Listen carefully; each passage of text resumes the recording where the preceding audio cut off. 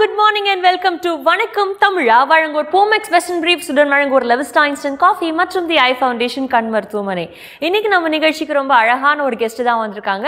கண்ணம்மா காதல் என்னும் கவிதை சொல்லடி. உன் பிள்ளை தமிழில் கண்ணம்மா.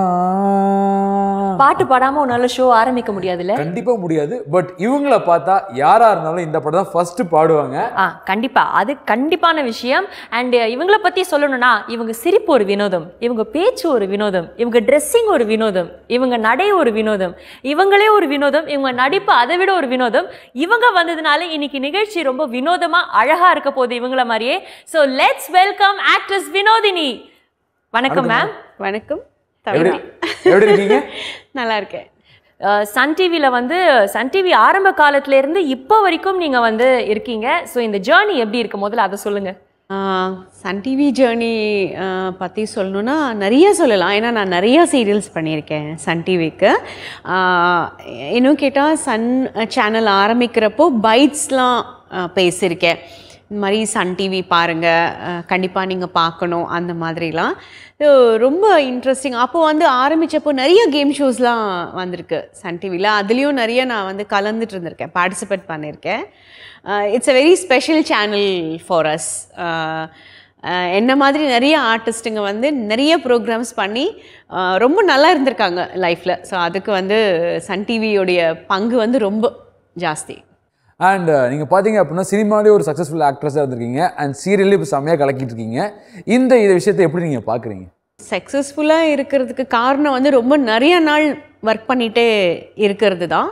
நடுவில் கொஞ்ச நாள் ஒர்க் பண்ணல கல்யாணம் குழந்தைகள் அப்படின்ட்டு ஸோ அதுக்கப்புறம் நான் வந்து எனக்கு இந்த வாய்ப்பை கொடுக்குற சேனலாக இருக்கட்டும் டைரக்டர்ஸாக இருக்கட்டும் ஆஹ், எழுதுறவங்க ஸ்டோரி எழுதுறவங்களா இருக்கட்டும் அவங்களுக்கு நான் முதல்ல தேங்க் பண்ணுறேன் என்னோட ஜேர்னி வந்து அவங்க இல்லைன்னா பாசிபிளே கிடையாது.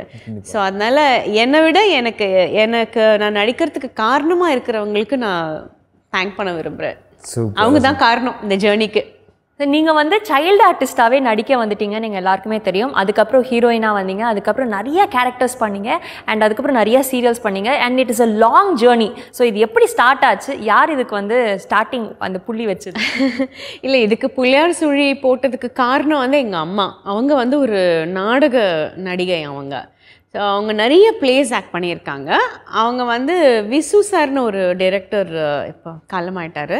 அவருடைய அண்ணா இருந்தாங்க. அவங்களுடைய ட்ரூப்பில் வந்து அவர் பேர் ராஜாமணி சார்னு நிறைய நாடகங்கள் போட்டிருக்காரு. அதில் அம்மா ஹீரோயின் ஆக்ட் பண்ணியிருக்காங்க நான் ஸ்கூல் படிக்கும் போதெல்லாம் ஸ்கூல் முடிச்சுட்டு ஈவினிங் ஸ்கூல் முடிச்சுட்டு எல்லாரும் வீட்டுக்கு போவாங்கல்ல. நான் வந்து ட்ராமா ரிஹர்சல் நடக்கிற இடத்துக்கு போவேன்.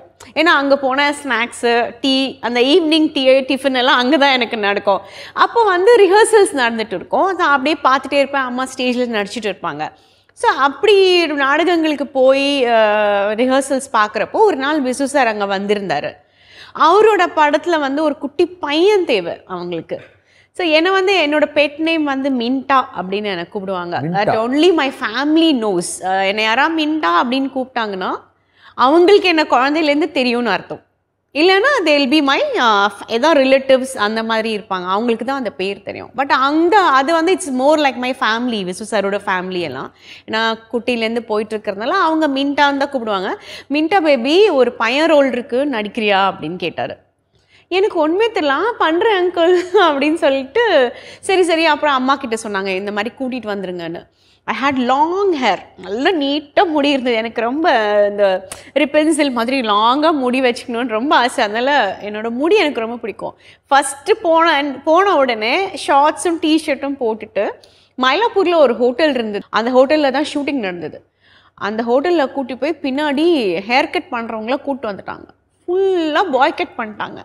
ஃபுல்லாக உட்காந்து ஒரே அழுக நான். எனக்கு தெரியாது என் முடியை கட் பண்ணுவாங்கன்னு. அது என்னன்னா ஆம்பளை பையன் வேஷம். எனக்கு வந்து குட்டி குட்டி பாப்பா ரோல் இருக்குது பண்ணுறியான்னு ஐ செட் ஓகே அங்கே போய் முடி வெட்டிட்டாங்க ஒரே அப்செட்டு ஒரே அழுக. அதுக்கப்புறம் எல்லாம் சாக்லேட்ஸு எல்லாம் என்னை வந்து பிரைட் பண்ணி நடிக்க வச்சாங்க. ஃபஸ்ட்டு ஒரு ஷார்ட்டை ஆக்ட் பண்ணேன். பையனாக தான் ஆக்ட் பண்ணேன். ஸோ தட்ஸ் ஹவ் என்னோடய ஜேர்னி ஸ்டார்ட் ஆச்சு. அதுக்கு முக்கிய காரணம் வந்து விசு சார் அவங்க ஃபேமிலி தான். அண்ட் இந்த இதில் பார்த்தீங்க அப்படின்னா மின்டா அப்படிங்கிற பேர் சொன்னீங்க. பட் உங்களுக்கு அதையும் தாண்டி ஸ்வேதா அண்ட் பேபி லக்ஷ்மி அப்படின்னு உங்களை கூப்பிடுறாங்க. இந்த பேர்களுக்கு பின்னாடி ரகசியம் என்ன? இல்லை இல்லை. அது வந்து என்னன்னா ஸ்கூல் நேம் வந்து லக்ஷ்மி. என்னோட உண்மையான பேர் லக்ஷ்மி. வீட்டில் கூப்பிடுறது மின்டா ஸோ எல்லாருக்குமே வீட்டில் செல்லமாக கூப்பிடுவாங்கல்ல அது. ஸ்வேதாங்கிற பேர் வந்து நான் கன்னடத்தில் வந்து நிறையா ஃபிலிம்ஸ் ஆக்ட் பண்ணியிருக்கேன். கன்னடாவில் வந்து கிட்டத்தட்ட ஒரு twenty five thirty films act பண்ணேன். அதில் நிறைய படங்கள் வந்து வெற்றி படங்களாக அமைஞ்சுது. அந்த டைரக்டர் வந்து his lucky colour is white Shweta அப்படிங்கிறது வெள்ளை. வெள்ளை நிறத்துக்கு பேர் ஸ்வேதா அப்படின்னு சொல் சொல்லுவாங்க. அதனால் அந்த பேர் எனக்கு வச்சார் அவர் ஸ்வேதான்னு வச்சார். அந்த படம் ஹிட் ஆன உடனே அங்கே எல்லாருக்கும் ஸ்வேதா ஸ்வேதான்னா தான் தெரியும். அப்போ அந்த டைமில் பார்த்தீங்கன்னா நம்ம ஒரு டிஃப்ரெண்ட் நேமில் நடிக்கிறோம்னு எனக்கு தெரியவே இல்லை. ஸ்வேதான்னு வச்சுக்கலாமா? நீங்கள் தமிழில் வந்து வினோதினின்னு வச்சுக்கோங்க. இங்கே வந்து நம்ம ஸ்வேதான்னு வச்சுக்கலாம் அப்படின்ன உடனே ஐ செட் ஓகே அப்போ தெரியல டீனேஜில் இவ்வளோ நேம்ஸ் நம்ம வச்சுக்கிறோமே இவ்வளோ நேம்ஸில் நடிக்கிறோமே அப்படின்னு. வினோதினின்ற பேர் கூட கண்மணி சுப்புன்னு ஒரு இயக்குனர் இருக்கார். கண்ணதாசன் அவர்களுடைய மகன் அவர். அவர் தான் என்னுடைய ஃபஸ்ட்டு படத்தை டைரக்ட் பண்ணார். அந்த படம் பேர் வந்து சித்திரை பூக்கள். அந்த படத்தில் என்னோட பேரை வினோதினின்னு மாற்றினாங்க ஸோ அதனால தான் இது- இதெல்லாம் டைரக்டரோட சாய்ஸஸ் என்னோட பேருக்கு. என்னோட உண்மையான பேர் லக்ஷ்மி. வீட்டில் கூப்பிடுறது மின்டாவில் தான் சூப்பர் சூப்பர் அண்ட் நீங்கள் இப்போ சொல்லும் போது தான் எனக்கு ஒரு கேள்வி வருது. உங்கள் முதல் படம் அப்படின்றது வந்து வண்ண வண்ண பூக்கள் தான் எல்லாரும் நினச்சிட்டு இருக்காங்க. பட் இல்லை நிறைய பேருக்கு வந்து அந்த டவுட் இருக்கு. கண்மணி சுப்பு சார் தான் வந்து என்னை அறிமுகப்படுத்தினது. என்னோட ரெண்டாவது படம் வந்து ஆத்தா உன் கோவிலிலேன்னு. கஸ்தூரி ராஜா சாருடைய ஃபர்ஸ்ட் படம். தனுஷ் அவர்களுடைய அப்பா இருக்கார் இல்லையா? கஸ்தூரி ராஜா அவர்களுடைய ஃபர்ஸ்ட் படம். அவருக்கு அது ஃபர்ஸ்ட் படம். எனக்கு அது ரெண்டாவது படம். தேர்ட் ஃபிலிம் தான் வண்ண வண்ண பூக்கள். ஆனால் நிறைய பேர் வந்து அந்த பாட்டுலாம் ரொம்ப ஹிட் ஆயிடுச்சு. இளையராஜா சார் மியூசிக் செம்ம ஹிட் அந்த படத்துக்கு நேஷ்னல் அவார்டு வந்தது. அதனால அந்த படம் ரொம்ப பிரபலமாக பேசப்பட்டதுனால நிறைய பேர் அதுதான் என்னோட ஃபர்ஸ்ட் மூவின்னு நினச்சிட்டு இருக்காங்க. ஸோ எஸ் நீங்கள் வந்து சைல்டு ஆர்டிஸ்ட்டாக வந்தீங்க. ஒரு ஹீரோயினா ஃபஸ்ட்டு ஃபஸ்ட்டு கேமரா எக்ஸ்பீரியன்ஸ் உங்களுக்கு எப்படி இருந்தது? அதை பற்றி ஷேர் பண்ணுங்கள் அதுவும் நான் சொல்லணும்னா என்னோட கெட்டப்பு என்னோட ஏஜ் தான் சேஞ்ச் ஆச்சே தவிர எனக்கு வந்து என்னோட ரோல் சேஞ்ச் ஆகிடுச்சே தவிர எனக்கு எந்த விதமான டிஃப்ரென்ஸுமே தெரியல. ஏன்னா நான் சைல்டு ஆர்டிஸ்ட்டாகவே ஒரு ஐம்பது படம் ஆக்ட் பண்ணியிருக்கேன். ஸோ அந்த ஒரு லெவன் இயர்ஸ் வரைக்கும் ஆக்ட் பண்ணிட்டு இருந்தேன். திருப்பி என்னுடைய ஃபோர்டீன்த் இயரில் நான் மறுபடியும் நடிக்க வந்துட்டேன். ஸோ ஒரு த்ரீ இயர்ஸ் தான் நான் நடிக்கலை. அந்த த்ரீ இயர்ஸில் வந்து அந்த ஒரு இன்னோ வளர்ச்சிக்கான கேப் தானே தவிர என் நடிப்புங்கிறது எனக்கு புதுசாக இல்லை. எனக்கு வந்து ஹீரோயினாக பண்ணும்போது பாட்டு பாடணும் டான்ஸ் ஆடணும் டைலாக் பேசணும். சைல்டு ஆர்டிஸ்டாக இருக்கும் போதும் அதே தானே உங்களுடைய நடிப்பு என்னன்னு சொல்லி கொடுத்துருவாங்க உங்களுடைய ஆக்ஷன்ஸ் என்னன்னு சொல்லி கொடுத்துருவாங்க டயலாக் சொல்லுவாங்க நீங்கள் பேசணும். எனக்கு பெரிய வித்தியாசம் எதுவுமே நான் பண்ண ஒர்க்கில் எனக்கு தெரியல. அது ஒரு வேலையாக நினச்சி நான் பண்ணேன் அவ்வளோதான் அந்த கேரக்டர் மட்டும் மாத்திருன்னு சொன்னீங்க. இப்போ நம்ம சன் டிவில கண்ணான கண்ணையில யமுனா அப்படிங்கிற கேரக்டர் பண்றீங்களா அப்போ இந்த கேரக்டரோட எக்ஸ்பீரியன்ஸ் சொல்லுங்க. இல்லை இது வந்து ரொம்ப நல்ல ஒரு பியூட்டிஃபுல் மதர் ரோல் இது. ரொம்ப ஒரு சாஃப்டான மதர் அதே மாதிரி ஹஸ்பண்டோட ரொம்ப ஒரு ஒரு பாசமாக அந்யோன்யமாக இருக்கிற மாதிரி ஒரு மதர் வெரி நைஸ் டீம் கண்ணானா கண்ணே. ஒரு நல்ல ப்ரைம் டைமில் வருது சன் டிவியில் ரொம்ப சந்தோஷம் எனக்கு வந்து இந்த மாதிரி ஒரு நல்ல ரோல் மறுபடியும் சன் சேனலில் கிடச்சிது. ஸோ சன் டிவியில் வந்து நீங்கள் நிறைய சீரியல்ஸ் பண்ணியிருக்கீங்க நிறைய ரெஸ்பான்சஸ் பார்த்துருக்கீங்க. இப்போ வந்து யமுனா அப்படின்ற கேரக்டர் வந்து செம்மையாக இருக்குது ஸோ இதோட ரெஸ்பான்ஸ் எப்படி இருக்கும் உங்களுக்கு? நான் வந்து கொஞ்சம் கூட எதிர்பார்க்கவே இல்லை. இவ்வளோ ஒரு ரீச் இருக்கும்னு. ஏன்னா நான் வந்து கொஞ்ச நாளைக்கு முன்னாடி ஒரு ப்ராஜெக்ட் பண்ணேன். சன் டிவி டே அன்பேவான ஒரு சீரியல் பண்ணேன். என்னோட சீரியல் என்னோட கேரக்டர் அதில் பெருசாக வரல. எதிர்பார்த்த மாதிரி இல்லை. ஸோ ஊருக்கு போகிற மாதிரி காமிச்சிருக்காங்க. அதுக்கப்புறம் இந்த சீரியலில் என்ட்ரி ஆனதுக்கப்புறம் எனக்கு கூட இவ்வளோ நாள் பேசாதவங்க கிட்டேருந்தெல்லாம் எனக்கு மெசேஜ் குவைட் சர்ப்ரைசிங் ஏன்னா அவங்களாம் ரொம்ப வருஷம் ஆச்சு என்கிட்ட பேசி. ஏ நான் உன் சீரியல் பார்த்தப்பா ரொம்ப நல்லாயிருக்கு ஏன் நான் உன் சீரியல் பார்த்தேன் நல்லா பண்ணியிருக்கேன். இந்த மாதிரி நிறைய அப்ரிசியேஷன் மெசேஜஸ் வந்தது. அப்போ தான் எனக்கு வந்து இந்த சன்னுடைய ரீச் என்ன அப்படிங்கிறது வந்து எனக்கு எப்போவுமே சன் டிவி ரீச் வந்து இட்ஸ் இட்ஸ் நம்ம வந்து சொல்லவே முடியாது. அவ்வளோ நல்லாயிருக்கும் ஆனால் இந்த பர்டிகுலர் சீரியலை எவ்வளோ பேர் பார்க்குறாங்க அப்படிங்கிறது எனக்கு தெரிஞ்சுது. ரொம்ப ஹாப்பியாக இருந்தது அது. ஸோ அதே மாதிரி நீங்கள் வந்து நிறைய லெஜெண்டரி ஆக்டர்ஸ் டேரக்டர்ஸோடலாம் ஒர்க் பண்ணியிருக்கீங்க ஸோ ஃபஸ்ட்டு நம்ம சொல்லணும்னா அதாவது மாபெரும் நடிகர் அப்படின்னு தான் சொல்லணும். அவர் வந்து என்சைக்ளோபீடியா நடிப்புக்கு. ஸோ சிவாஜி சாரோட நீங்கள் ஒர்க் பண்ணியிருக்கீங்க அந்த எக்ஸ்பீரியன்ஸ் பற்றி சொல்லுங்கள் சிவாஜி சார் பற்றி சொல்லணும்னா நான் சைல்டு ஆர்டிஸ்ட்டாக அவர் கூட நடித்தேன் மனுக்குள் வைரம்னு ஒரு படம். அவருடைய பேத்தியாக நடித்தேன் மனோஜ்குமார் சார் தான் டைரக்ட் பண்ணார். என்ன சொல்கிறதுனா அதெல்லாம் அந்த மாதிரி ஒரு பாக்கியம் எல்லாருக்கும் கிடைக்காது. அவர் கூட ஒர்க் பண்ணுற பாக்கியம்லாம். ரொம்ப சந்தோஷம் ரொம்ப என்கரேஜிங்கு இன்ஃபேக்ட் வந்து நான் பயமே இல்லாமல் நடிச்சிட்டேன். ஆனால் அந்த செட்டில் என் கூட நடித்தவங்க எல்லாருமே அவர் கூட ஒரு ஷார்ட் நடிக்கணும்னா எல்லாருக்கும் ஒரு பயம் இருக்கும். ஏன்னா அவர் ஒரு கம்பீரமாக இருப்பார் ஒரு சிங்கம் மாதிரி இருப்பார் அவர் ஃப்ரேமில் பட் நான் அவரோட ரொம்ப ஃப்ரெண்ட்லியாக ஏன்னா அவரோட பேத்தி தானே? ச தாத்தா தாத்தா அப்படின்னு சொல்லிட்டு ரொம்ப இதாக இருந்தேன். அப்போ நடிக்கிறத விட அதுக்கப்புறம் கொஞ்ச நாளுக்கு அப்புறம் நம்ம வளர்ந்ததுக்கு அப்புறமா அதோட அருமை வந்து இன்னும் நல்லா தெரிஞ்சுது. சிவாஜி சார் கூட ஒர்க் பண்ணியிருக்கோம் நம்ம எவ்வளோ லக்கி நம்ம அப்படின்னு. அண்ட் மேம் உங்கள் கெரியரில் வந்து ஒரு முக்கியமான ஒரு படம் அப்படின்னா நாயகன். நாயகன் படத்தை இயக்கியவர் நம்ம மனிதத்தம் சார். அவரு கூட ஒர்க் பண்ண அந்த எக்ஸ்பீரியன்ஸை பற்றி சொல்லுங்கள் அதுவும் சைல்டு ஆர்டிஸ்டாக தான் ஒர்க் பண்ணேன். நாயகனில் பார்த்தீங்கன்னா படம் ஆரம்பிக்கும் போது வரும். என்னோட இது. அவங்க சிஸ்டர் தாரான்னு ஆக்ட் பண்ணியிருப்பாங்க. அவங்களோட சின்ன வயசு. அவர் அப்போ தான் அவங்க அப்பாவை கொல்லை பண்ணிட்டு பாம்பேக்கு ஓடி போவார். ஒரு ஜாய் ஒரு ஃபேமிலியை ஜாயின் பண்ணுவார். அங்கே ஒரு பையன் பொண்ணு இருப்பாங்க. அது ஜனகராஜ் சாரும் தாரா அவங்களும் வளர்ந்ததுக்கப்புறம் அவங்க. ஸோ அதோடைய யங்கர் வேர்ஷன் தான் பண்ணேன் ஆனால் ஷூட்டிங் லொக்கேஷனில் வந்து கமல் சாரை நான் பார்த்தேன். சரண்யா மேடம் கமல் சார் அவங்க உட்காந்துட்டு இருப்பாங்க. பாம்பேயில் ஷூட் பண்ணாங்க. ஆல்மோஸ்ட் ஒரு டுவெண்ட்டி டேஸ் இருந்தோம் பாம்பேயில் ஃபஸ்ட் டைம் நான் பாம்பே போகிறேன் அப்போ தான் லைஃப்பில் பாம்பே நான் வந்து பார்க்குறேன் எல்லாமே ஃபுட்டுலேருந்து எல்லாமே ரொம்ப டிஃப்ரெண்ட்டாக நான் ஃபீல் பண்ணேன். கமல் சாரை பார்த்தது ரொம்ப ரொம்ப சந்தோஷம். சரண்யா அம்மா கூட ரொம்ப யங்காக க்யூட் சரண்யா அம்மாவை நான் பார்த்துருக்கேன்.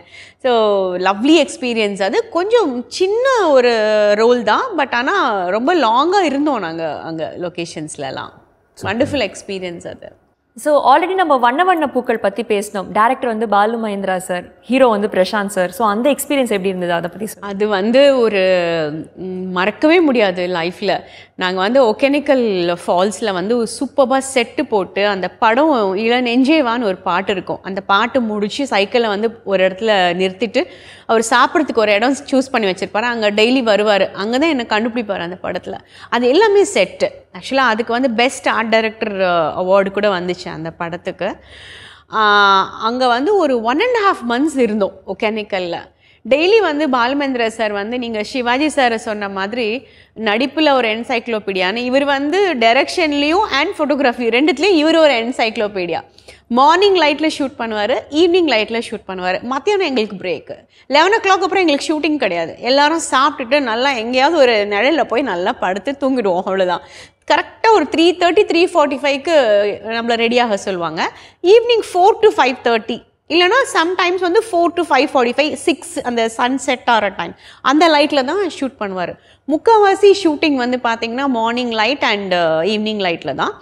அவ்வளோ ஒவ்வொரு ஃப்ரேமும் வந்து அவ்வளோ அழகாக இருக்கும்.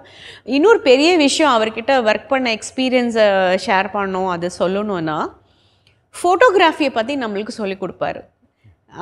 அப்போல்லாம் வந்து ஃபிஃப்டி ஹண்ட்ரட் இந்த மாதிரி இருக்கும். லென்ஸ் சேஞ்ச் பண்ணுவாங்க கேமராக்கு இப்போ சிஸ்டம்லாம் கொஞ்சம் வேறு மாதிரி வந்துருச்சு. அப்போ கேமரா வந்து நல்லா லாங் ஜூம்ஸு லென்சஸ்லாம் இருக்கும். அதெல்லாம் அந்த லென்ஸுடைய நம்பர்ஸ் என்ன? இந்த லென்ஸில் நீ எப்படி தெரிவை? எவ்வளோ க்ளோஸாக அவன் மூஞ்சி எவ்வளோ பெருசாக ஸ்க்ரீனில் தெரியும்? இந்த தொங்குற மாதிரி கம்பல் போடாத சின்னதாக போடு கொண்டை போட்டுக்கோ. லூசர் வச்சா அவங்க ஃபேஸ் இப்படி இருக்குது கொண்டை போட்டால் இந்த மாதிரி இருக்கு. இவ்வளோ டீட்டெயிலாக ஒரு படம் வரைகிற மாதிரி ஹீ வில் எக்ஸ்பிளைன் இந்த ஷார்ட்டில் நீ எப்படி இருப்ப? சஜஷன் ஷார்ட்னா என்ன? க்ளோஸ்னா என்ன? மிட்னா என்ன? லாங்னா என்ன? He will explain everything நம்ம நடிக்கும்போது. ஸோ அது வந்து ஒரு லேர்னிங் நம்ம நடிக்கிறது மட்டும் இல்லை ஏன்னா நான் பேரலாம் வந்து will also learn so many things அவர்கிட்டேருந்து super.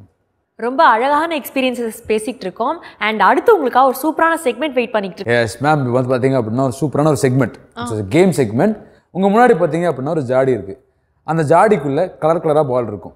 Red green yellow so green வந்துச்சு அப்படின்னா நாங்கள் ஒரு பர்சன் சொல்லுவோம். அந்த பர்சனை பற்றி நீங்கள் பாசிட்டிவான விஷயங்கள்லாம் சொல்லணும். ஓகே ரெட் வந்துச்சு அப்படின்னா ஒன்றா நெகட்டிவாக சொல்லலாம் இல்லாட்டி அவங்க மாற்றிக்கணும்னு நினைக்கிற விஷயத்த சொல்லலாம். Okay and yellow colour ball வந்துச்சு அப்படின்னா நீங்கள் அவங்கள மாதிரி இமிட்டேட் பண்ணி காமிக்கணும்.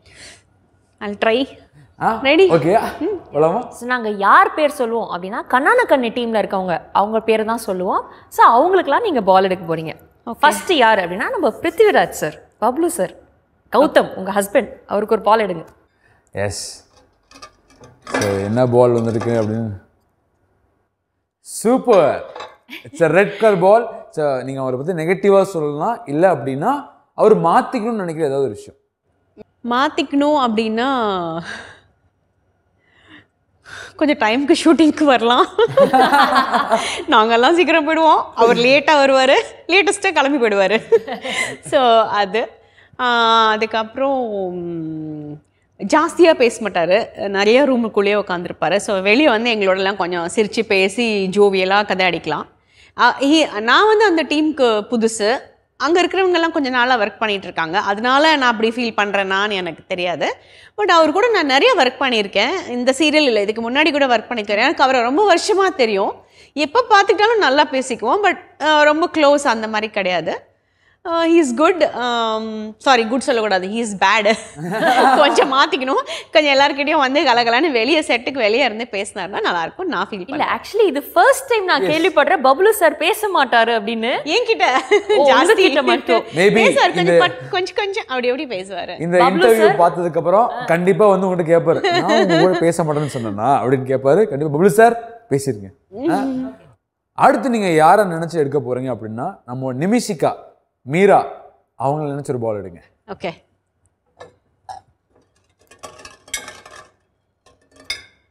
it's green green so க்ரீன்னா என்ன. பாசிட்டிவா பாசிட்டிவா சொல்லு. பாசிட்டிவ்னா ஆக்சுவலாக வந்து அவங்க கூட நடிக்கும்போது பார்த்தீங்கன்னா எக்ஸ்பிரஷன்ஸ்லாம் வந்து ரொம்ப அப்படி தான் பேசுவாங்க. பட் அது டப் பண்ணும்போது பார்த்தா டப் பண்ணதுக்கு அப்புறமா பார்த்தா ரொம்ப அழகாக இருக்கும். ஒரு கம்ப்ளீட்டாக இருக்கும். நான் வந்து நடிக்கும்போது என்ன இவங்க இப்படி பேசுகிறாங்க ரொம்ப சின்ன சின்னதாக ஆக்ஷன்ஸ் பண்ணுற மாதிரி எனக்கு என்னோடய எக்ஸ்பீரியன்ஸ் வேறு அவங்க எக்ஸ்பீரியன்ஸ் வேறு இல்லை. ஆனால் ஃப்ரேமில் பார்க்கும்போது அவ்வளோ அழகாக இருக்கும். Very playful very jolly type எல்லார்கிட்டேயும் வந்து அந்த ஷூட்டில் வந்து எங்களுக்கு பேக்டாக இருக்கும் ஒர்க்கு இவங்க வந்து நடு நடுவில் எல்லாரையும் வந்து கலடா பண்ணிட்டு சிரிச்சிட்டு பேசிட்டு ஏதாச்சும் ஒரு காமெடி பண்ணிட்டு எல்லா செட்டில் இருக்கிறவங்கள கூடயும் ஜாலியாக பேசி விளையாடிட்டே இருப்பாங்க. ஸோ அது வந்து ஒரு நல்ல எங்களுக்கு எனக்கு ரொம்ப ரிலாக்ஸிங்காக இருக்கும் அவங்கள பார்க்குறது எனக்கு அது ரொம்ப பிடிக்கும் அவங்க கிட்ட சூப்பர் ஸோ நிமிஷிகா வந்து ஒரு பாசிட்டிவ் வைப் அப்படின்றீங்க. She is positive in the set yes so அடுத்து நீங்க யாருக்கு எடுக்க போறீங்கன்னா நம்ம யுவா ராகுல் ரவிக்கு தான் எடுக்க போறீங்க. எடுங்க. ஓகே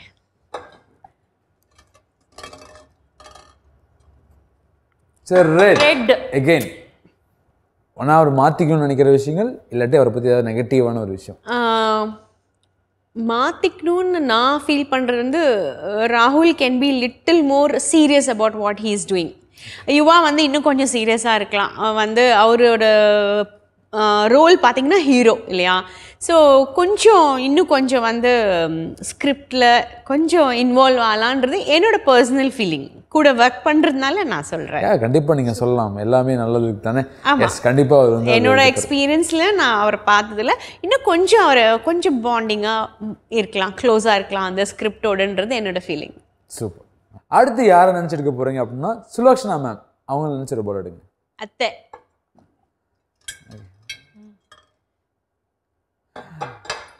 ஏலோ. இப்போ அவங்கள மாதிரி இமிட்டேட் பண்ணி ஆஹ், அவங்க வந்து ஸ்க்ரீனில் வந்து அவங்க டைலாக் ஒரு அத்தை ஒரு சீரியஸ் ரோலு அதுக்கப்புறம் அந்த ஷார்ட் கட்டுன்னு சொன்னோடனே நாங்கள் ரெண்டு பேரும் பக்கத்து பக்கத்தில் உட்காருவோம்ல. அப்போ வந்து இன்னைக்கு எத்தனை மணிக்குப்பா முடியும்? சீக்கிரம் விட மாட்டாங்களா சீக்கிரம் வீட்டுக்கு போக முடியாதா? நான் சொல்ல இல்லைம்மா ஒம்பது மணிக்கு தான் வீட்டுக்கு போக முடியும். அதுக்கு முன்னாடி அனுப்ப மாட்டாங்க. அதுக்கு முன்னாடி முடிஞ்சுச்சுன்னா நம்மளுக்கு ஜாக்பாட் அப்படின்னு. ஒரு ரெகுலர் கொஞ்சம் ஒரு கிட்டிஷாக பேசுவாங்க. எனக்கு ரொம்ப பிடிக்கும் அவங்களோட. அவங்களோட சின்ன வயசில் நான் ஆக்ட் பண்ணியிருக்கேன். என்னோட சைல்டு ஆர்டிஸ்டாக இருக்கும்போது அவங்கள நான் ஹீரோயினாக பார்த்துருக்கேன். கார்த்திக் சாரோட படம். அவங்க கார்த்திக் சார் ஹீரோ இவங்க ஹீரோயினு நான் வந்து சைல்டு ஆர்டிஸ்ட் அந்த படத்தில். ஸோ அவங்கள ஹீரோயினாக பார்த்துட்டு இன்றைக்கி என் கூட அவங்க அத்தையாக ஆக்ட் பண்ணுறது எனக்கு ரொம்ப சந்தோஷம். அவங்களுக்கும் என்ன பார்க்குறது ரொம்ப சந்தோஷம். நீங்கள் அவங்கள சைல்டு ஆர்டிஸ்டாக பார்த்துருப்பீங்க. ஆனால் எப்போவுமே அவங்க ஒரு சைல்டு தான். எனக்கு என்கிட்ட அவங்க சைல்டு தான் அவங்க. ஆமாம் எல்லார்கிட்டயுமே அவங்க அப்படிதான். ஸோ இப்போ வந்து நீங்கள் யாருக்கு சொல்ல போறீங்க? அப்படின்னா வினோதினிக்கு ஒரு க்ரீன் பால் எடுத்த மாதிரி நீங்களா நினச்சிக்கோங்க. ஒரு ரெட் பால் எடுத்த மாதிரி நீங்களா நினச்சிக்கோங்க. வினோதினி கிட்ட உங்களுக்கு பிடிச்ச விஷயம் வினோதினி கிட்ட உங்களுக்கு பிடிக்காத விஷயம். Okay green ball so. பாசிட்டிவான விஷயம் சொல்லலாம் இல்லையா? ஆஹ் நான் வந்து I'm a very strong person என்னை சீக்கிரமாக வந்து ஆஹ் அழக்க முடியாது யாராலையும். அதே மாதிரி எந்த ஒரு விஷயம் லைஃப்பில் நடந்தாலும் நான் அதை பாசிட்டிவ் சைடு பார்ப்பேன். அதை வந்து பாசிட்டிவான சைடில் தான் நான் வந்து டீல் பண்ணுவேன். அப்படி தான் இது வரைக்கும் நான் என்னோட எல்லா விஷயங்கள்லையும் ஜெயிச்சு வந்திருக்கேன். ஸோ அது வந்து என்கிட்ட எனக்கு ரொம்ப பிடிக்கும். அதே மாதிரி என்னோட என்னுடைய இந்த ப்ரொஃபஷனை நான் ரொம்ப மதிக்கிறேன். இன்றைக்கி வரைக்கும் நான் என்னால் எவ்வளோ சின்சியராக இருக்க முடியுமோ அவ்வளோ சின்சியராக இருக்கேன். அது வந்து எனக்கு அதே மாதிரி டைமிங் ஒரு ஒரு ஒரு நிகழ்ச்சிக்கு ஒரு அஞ்சு மணிக்கு போனோன்னா நான் ஃபோர் ஃபார்ட்டி ஃபைவ்க்கு போயிடுவேன். அது என்னுடைய நேச்சர் என்னால் லேட்டாக போக முடியாது. போனால் நான் ரொம்ப கில்ட்டியாக இருப்பேன். அந்த நான் ஒரு நூறு ஃபங்க்ஷன்ஸ் போயிருக்கேன் நூறு இடத்துக்கு போயிருக்கேன்னா ஒன்று ரெண்டுக்கு தான் லேட்டாக போயிருப்பேன். அதுக்கு ஜென்யூன் ரீசன் ஏதாவது வண்டி பஞ்சர் ஆகிருக்கும் அந்த மாதிரி ஏதோ டிலே ஆகிருக்கும் ஸோ எனக்கு அது என்கிட்ட ரொம்ப பிடிச்ச விஷயம். என்னோட பசங்களுக்கும் நான் சொல்லுவேன் டைமிங் ரொம்ப முக்கியம். நம்ம கரெக்டாக இருக்கணும். ஸோ நம்மளை யாரும் எதுவும் சொல்ல மாட்டாங்க. அப்படின்னு. அது எனக்கு என்கிட்ட ரொம்ப பிடிச்ச விஷயம். பிடிக்காத விஷயமும் அதுதான். நான் ரொம்ப சின்சியராக இருக்கிறதுனால சுற்றி இருக்கிறவங்க எல்லாம் வந்து ஜாலியாக இருப்பாங்க லேட்டாக வருவாங்கல்ல. ஸோ அதனால எண்ட் ஆஃப் இது பார்த்தீங்கன்னா நான் தான் ரொம்ப நேரம் வெயிட் பண்ணிகிட்டு இருப்பேன். எல்லாரும் வந்துருவாங்க. முன்ன பின்ன வந்தாலும் அந்த நேரத்தில் அந்த விஷயம் நடந்துடும் பட் சம்டைம்ஸ் நான் ரொம்ப பேடாக நம்ம ஏன் இவ்வளோ சின்சியராக இருக்கும்?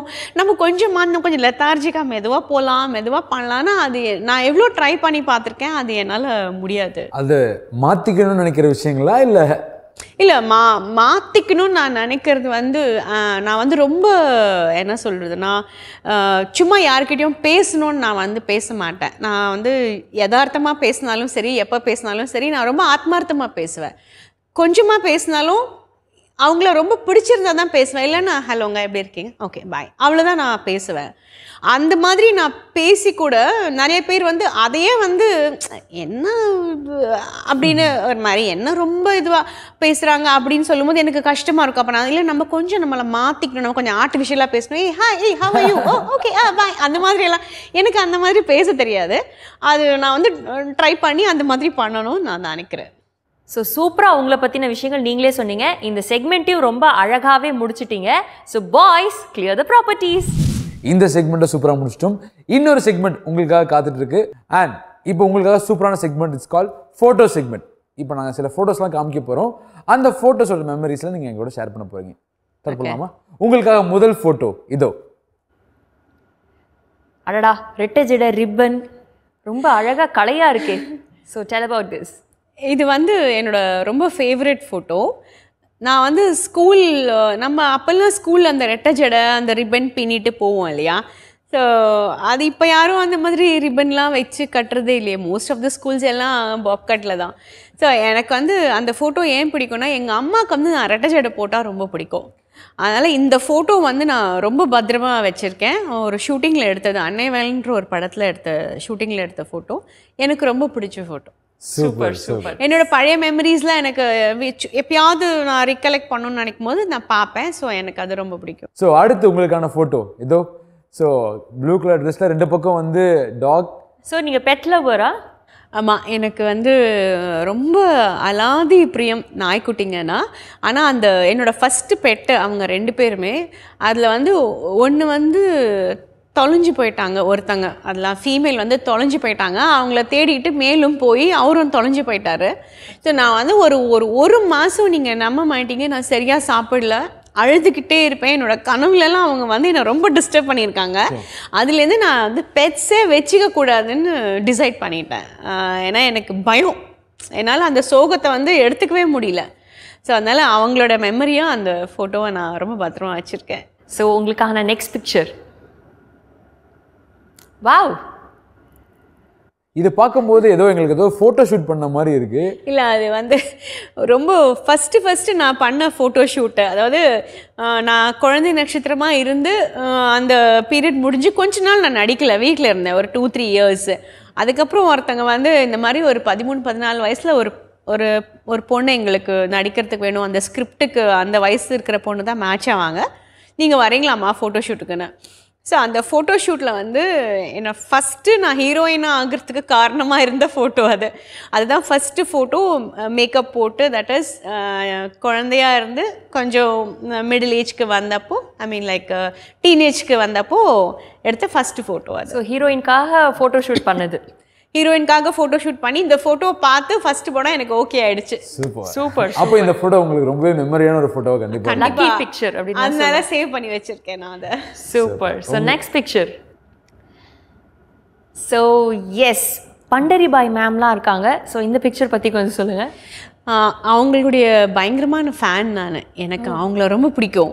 ஸோ ஒரு படத்தில் வந்து அவங்க கூட நடிக்கிறதுக்கான வாய்ப்பு எனக்கு கிடச்சிது. அது கன்னடா ஃபிலிம் அது. ஓகே அதனால நான் அதே மாதிரி அந்த கூட இருக்கிற ஃபேமிலி வந்து நாங்கள் அவங்க வீட்டில் தான் தங்கி அங்கே ஷூட்டிங் பண்ணோம். ஆல்மோஸ்ட் ஒரு டூ மந்த்ஸ் அங்கே இருந்தோம் அவங்க வீட்டில் டெய்லி சூப்பராக சமைச்சு போடுவாங்க அந்த ஃபோட்டோவில் இருக்கிறவங்க. அவங்களும் பன்றிபாய் அம்மாவும் நானும் ஒரே வீட்டில் ஸ்டே பண்ணோம். ஏன்னா அவங்களுக்கு வந்து ஹோம் ஸ்டே மாதிரி கொடுத்தாங்க எங்களுக்கு. அது வந்து ரொம்ப ஒரு கிராமம் குக் கிராமம் அது கர்நாடகாவில் அப்போ நாங்கள் ஹோட்டல்ஸ்லாம் அங்கே பெருசாக கிடையாது. எங்களுக்கு அந்த ஒரு வீடு எடுத்து கொடுத்தாங்க. நான் அவங்களோட தங்குற பாக்கியமும் கிடச்சிது. டெய்லி காலையில் எழுந்து குளிச்சுட்டு சீரியஸாக அவங்க அந்த துளசியை சுற்றிட்டு மந்திரம் சொல்லிட்டு துளசியை சுற்றிட்டே இருப்பாங்க. டெய்லி நான் காத்தால எழுந்து அப்படியே வெளியே வருவேன். காஃபி கப்போடு அவங்க மந்திரம் சொல்லிட்டு துளசியை சுற்றி வந்துட்டு இருப்பாங்க. ஒரு நாள் கூட அவங்க அதை தவறுனதே கிடையாது. நான் அவங்கள வந்து அந்த மாதிரி டெய்லி பார்ப்பேன். எனக்கு ரொம்ப பிடிக்கும். சினிமாவில் வந்து சின்ன ஹீரோயினாலாம் அவங்க நடிச்சிருக்காங்க. ஹீரோயினாலாம் நடிச்சிருக்காங்க. அப்போலாம் ரொம்ப அழகாக இருப்பாங்க. என்னோட ஃபேவரெட் இவங்க அஞ்சலி தேவி அம்மா அந்த காலத்து படங்கள்ல எனக்கு ரொம்ப பிடிக்கும். ஸோ அவங்களோட ஒர்க் பண்ணதுனால நான் ரொம்ப ஆசைப்பட்டு இந்த ஃபோட்டோ எடுத்துக்கிட்டேன் அவங்க கூட. அந்த ஃபேமிலியும் எங்களுக்கு ரெண்டு மாதம் விழுந்து விழுந்து சமைச்சு போட்டாங்க. அவங்களும் என்னோட மெமரியில் இருக்கணும்னு நான் எடுத்துக்கிட்டேன் இந்த கண்டிப்பா. அந்த மெமரி ஷேர் பண்ணும்போது நாங்களும் நீங்கள் சொல்லும்போது அந்த துளசி சுத்தும் போது அதை நாங்கள் அப்படியே ஃபீல் பண்ணி பார்த்தோம். அவங்கள ஏன்னா பிகாஸ் அந்த பாடு அம்மா என்று அழைக்காது. எஸ் நாங்கள் அப்படியே அதை ரிலேட் பண்ணி பார்த்தோம்.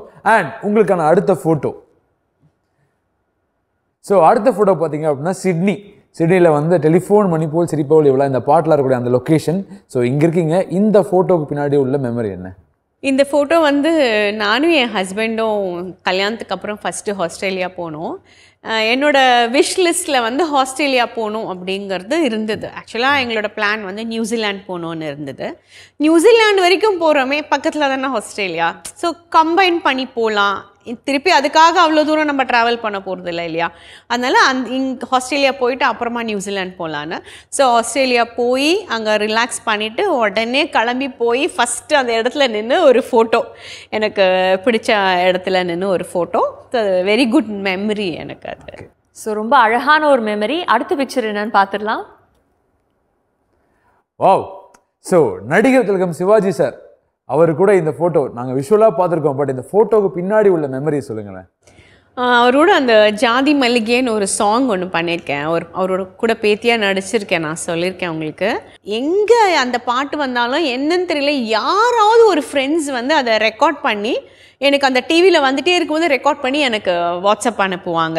ஏய் பாரு பாருப்பா உன் பாட்டு வருது. சிவாஜி கூட சிவாஜி சார் கூட நீ நடித்த பாட்டு வருது அப்படின்ட்டு அனுப்புவாங்க. இப்போ கூட ரீசெண்டாக ஒரு டூ த்ரீ வீக்ஸ் முன்னாடி எனக்கு அதை அனுப்பிச்சிருந்தாங்க. ஸோ ரொம்ப மெமரபிள் அது பார்க்கும்போதுலாம் எனக்கு ஒரு சந்தோஷம். எனக்குள்ள ஒரு பயங்கர சந்தோஷம். கண்டிப்பாக வெரி நைஸ் ஸோ எஸ் இந்த ஃபோட்டோ செக்மெண்ட் ரொம்பவே அழகாக இருந்தது அப்படின்னு தான் சொல்லணும். உங்கள் எக்ஸ்பீரியன்ஸஸ் ரொம்ப ரொம்ப பியூட்டிஃபுல்லாக இருந்தது. ஸோ நீங்கள் ஆல்ரெடி சொன்னீங்க உங்கள் விஷ் லிஸ்ட்டில் வந்து நிறைய ஃபேவரட் பிளேசஸ் இருக்குது அப்படின்னு. உங்க சென்னையில் உங்களுக்கு ரொம்ப பிடிச்ச இடம் எது? எனக்கு சென்னையே ரொம்ப பிடிக்கும். ஏன்னா நான் பிறந்தது சென்னை. ஓ ஓகே நீங்கள் தமிழா? ஆமாம் சுத்த தமிழ்.